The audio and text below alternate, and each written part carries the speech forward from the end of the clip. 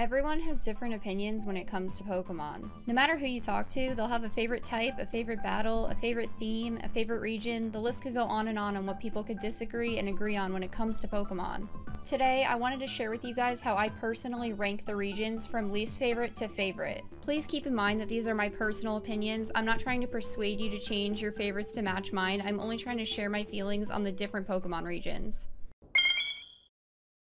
So, number 8 on this list, my least favorite region of all time is the Hoenn region. For some reason, I just never had fun playing any of the three entries as a kid, and I really wasn't impressed by ORAS. To be fair, I wasn't always a huge fan of the Game Boy Advance, and the music did always give me a headache, so that probably impacted my thoughts on the region as a whole. On top of that, all five mainline games that came out for the console are some of my least favorite and least played Pokemon games of all time. Since I had a hard time getting into Sapphire, Ruby, and Emerald, it stopped me from playing Pokemon for a long time. Playing them felt like a chore since I'd always considered myself a huge Pokemon fan. ORAS didn't really do it for me either, since it was the same region I really didn't enjoy as a kid, and they took out all of the customizable elements from X and Y. That being said, I still think I'd rather play ORAS than any of the originals. Despite me not really enjoying the Hoenn region, I think the Pokemon from the Hoenn region are fantastic and some of the best ones we've ever received. The Hoenn anime is also one of my favorite arcs. The only reason Hoenn is at the bottom of this list is because I genuinely do not enjoy any of the Hoenn games. My second least favorite region is Galar, but I do think that they really improved upon it with the DLC, and I think it's going to get better with Crown Tundra. I won't go into details as to why I'm not crazy about Sword and Shield, as I already made a video covering why I didn't like the games, which I will link below for you to watch at the end of the video, but a brief summary of why I wasn't crazy about them is that the region just felt really empty to me. Once you beat the game, there's nothing left to do but raids and shiny hunting, and the Y-Comm literally just doesn't work at all. As I said before, I really enjoy Isle of Armor, and I think Crown Tundra is going to improve the game even more. I do think once Crown Tundra comes up, I will enjoy the region so much more that it might bump it higher on the list. But until we get both of the DLC and I can play them both, the Galar region is going to have to stay my second least favorite region. If I raised it based on hopes, then the game would have been number 2 based on the teasers alone. Before these games came out, I found myself really standing up for these games, but overall they've just been a disappointment. Okay, I'm done disappointing you guys. Number six on my list is Alola. I freaking loved Sun and Moon when it came out. I thought it had an amazing storyline, really in-depth characters, and was all around a great Pokemon experience. Then Ultra Sun and Ultra Moon came out, and I had to replay the entire game over again with hardly any differences to the original, and complete the Pokedex again for the second time just to shiny hunt in the wormholes. I know you don't have to complete the Pokedex to shiny hunt in the wormholes, but I wanted to get the shiny charm before I did that. The wormholes were really the only redeeming factor for Ultra Sun and Ultra Moon. I know most of the third entries don't differ too much from the original two that get released when it comes to Pokemon. However, Sun and Moon was so handholdy and Ultra Sun and Ultra Moon were no different. It was really hard to play through the same region again with the same handholdy nonsense, as if we didn't just do this a year prior.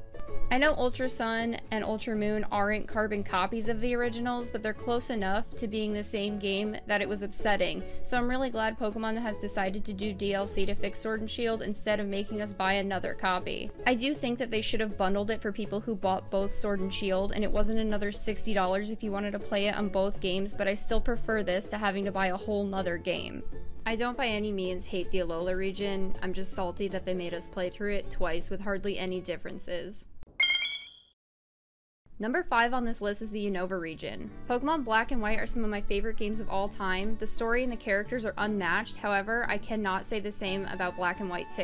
I know this is a really controversial opinion to have, as Black and White 2 are some of the most beloved games in the whole franchise. However, I just could not get into them for some reason. I never understood why Hugh put so much importance on you helping him find the Purrloin for his sister when, like, it's his and her problem and not really your problem. Not that I wouldn't immediately help my friend if they had a problem like this, it just felt so forced at the beginning of Black and White 2 that I just didn't really care to do it. Hugh's little sister doesn't even have her own sprite, she just has the generic little girl sprite used throughout the game. Currently, I'm hunting Oshawott on Black and White 2 because I think having a shiny starter will really encourage me to play through the entire game, but until then, it's gonna remain number 5 on my list.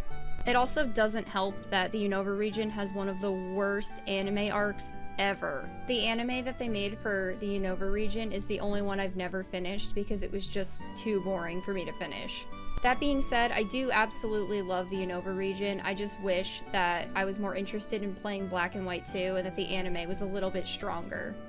Also, Hilda and Rosa are two of the best designed Poke Girls ever, and I absolutely love them. They're so cute.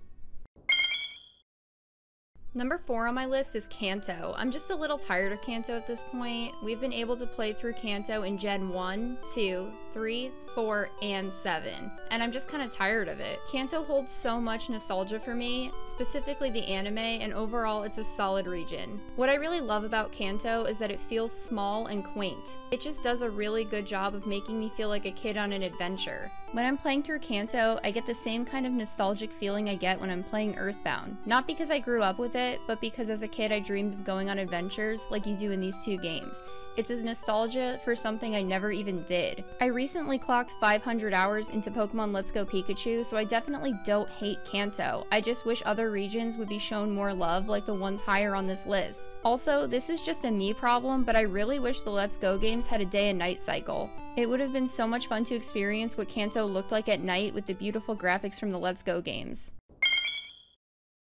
Alright guys, we're getting down to my favorite regions here. My third favorite region is the Kalos region. Kalos was the best region on the 3DS in my opinion. It was our first time experiencing a main series Pokemon game in 3D graphics and it was just an amazing experience. Lysandre posed a genuine threat to humanity that was so close to succeeding that it was actually a little bit scary. This game also came out at the perfect time for me. I did my first year of college at the New York School of Visual Arts and I commuted every day from Connecticut. I had an hour and a half train ride to and from school, which was the perfect opportunity for me to play a bunch of video games. I played so much X and Y that year and it was what got me into shiny hunting. At the time, I was also very into building competitive teams, which is something that I've lost interest in now, but it was fun at the time. Along with that, all my classmates were also nerdy art students, so we all played the game together. On another note, the anime was the best one in my opinion. All of the characters have personal growth, especially Serena. It was also amazing to see Ash and his Greninja's bond get so strong that they were able to use their own form of Mega Evolution, causing Greninja to turn into Ash Greninja. Overall, I just think Kalos is an absolutely stellar region, and it doesn't get the praise that it deserves. My second favorite Pokemon region, number two on this list, is Johto. Johto is definitely the region that I have the most nostalgia for. I may have started my journey with Pokemon Red, but the game I played to death as a kid was Pokemon Crystal. I was so excited to play as a girl for the first time during my Pokemon adventures. I was also obsessed with the newly added day and night cycles, they really made the region feel so alive to me. To this day, the moment I hear Azalea Town's theme, I feel all warm and fuzzy and I know I'm home. Heart Gold and Soul Silver are also some of the best Pokemon games to date. The DS's aesthetics with Johto's beautiful landscape gives me butterflies. It was also so much fun to return to the region that I played so much as a kid and get to experience it again years later but with significant improvements. I don't really have much else to say about Johto other than I absolutely love it. Alright guys, I'm sure you've used your deductive reasoning skills to figure out that my favorite region is... Sinnoh! The Sinnoh region is my absolute favorite region in the Pokemon world so far. There are so many reasons as to why I love the Sinnoh region. It has amazing music, great Pokemon, and one of the best stories. I felt like Cyrus was a real threat, and I didn't even fully disagree with his motives.